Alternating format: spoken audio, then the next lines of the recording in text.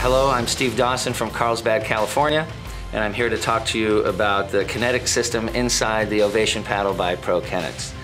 Uh, the kinetic system uh, is a system of shock and vibration uh, uh reduction. There, it's actually a series of, of beads within the uh, uh, perimeter of the paddle.